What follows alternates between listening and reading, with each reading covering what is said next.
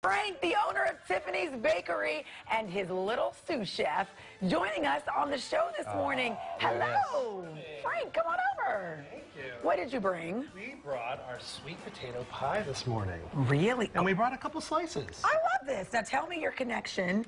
Did you name this something unique and creative? Well, the Kimmel did a great promotion called Sugar Pie Honey Bunch. Yes. And so we dedicated our sweet potato pie to the promotion. I love it. And uh, saw the show too. It was wonderful. Isn't we, it we were so on good? the whole time. It's amazing. It was great. It Loved gets you dancing the whole time. Who's this cute little helper This of is my darling daughter, Katina. Katina, how are you? I think Katina doesn't have a microphone, so we can't hear That's from her.